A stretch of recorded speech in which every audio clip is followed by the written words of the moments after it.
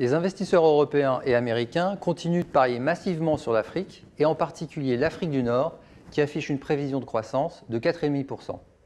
Or, au sein de cette zone, c'est plus particulièrement le Maroc, très prisé pour sa stabilité politique, qui constitue désormais une rampe d'accès privilégiée pour le reste du continent.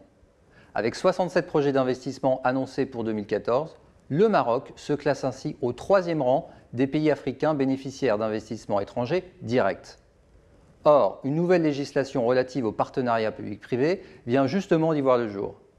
Pour nous en parler, nous avons la chance d'avoir avec nous Jérôme Pentecoste, associé du cabinet RAG, Graham Lawrence Co.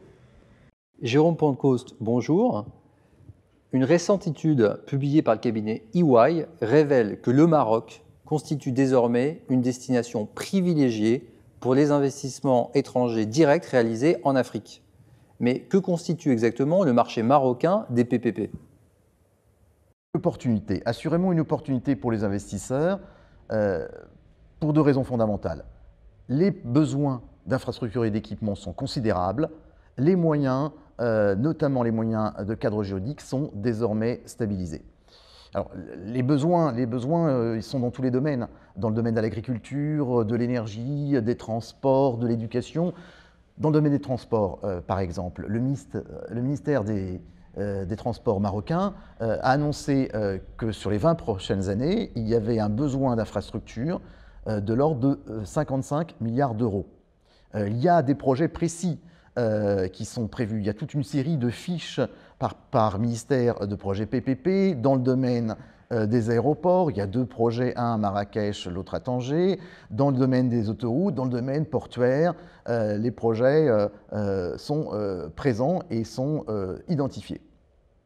sur le cadre juridique et politique, euh, aujourd'hui, depuis l'adoption de la nouvelle constitution en 2011, depuis en 2006 euh, la loi sur la gestion déléguée, la charte communale, le gouvernement a lancé un chantier euh, législatif PPP en 2012 qui a abouti en fin d'année dernière à une loi PPP qui a donné lieu à des décrets d'application qui ont été édictés en début d'année 2015. Aujourd'hui, le cadre est prêt à accueillir les projets et les investisseurs. Ce nouveau cadre réglementaire est-il plus ou moins flexible l'ordonnance française? Alors, il est très euh, inspiré de l'ordonnance française de 2004. Il est un peu plus souple, il est un peu plus simple. Et si l'on veut se euh, livrer au jeu des ressemblances et des différences, euh, on pourrait dire qu'il y a beaucoup de ressemblances, quelques différences. Les ressemblances. Les ressemblances, c'est l'utilisation des concepts que l'on connaît dans la pratique française, d'évaluation préalable, de partage des risques, d'objectifs de performance, euh, de value for money, de liste des clauses obligatoires dans le contrat. Euh, au titre des différences, on peut citer euh, la possibilité restreinte, mais la possibilité de marché de gré à gré, qui n'existe pas en droit français des PPP, la possibilité de clauses de préférence en faveur des entreprises marocaines, qui est évidemment interdite en droit français et plus largement en droit communautaire, la possibilité de mettre dans les critères d'attribution des taux d'utilisation des intrants euh, d'origine nationale, qui également n'est pas possible en droit français. Et puis autre différence, il n'y a pas en droit marocain de législation de type loi d'AI et donc de cession d'AI acceptée comme euh, on l'utilise beaucoup dans les PPP français. Dans ces conditions, pensez-vous que le marché marocain des PPP est en bonne position pour décoller dans les années à venir? Oui, les conditions sont réunies, sont désormais réunies. Euh, le marché paraît ouvert euh, à des lancements de projets euh, très prochains.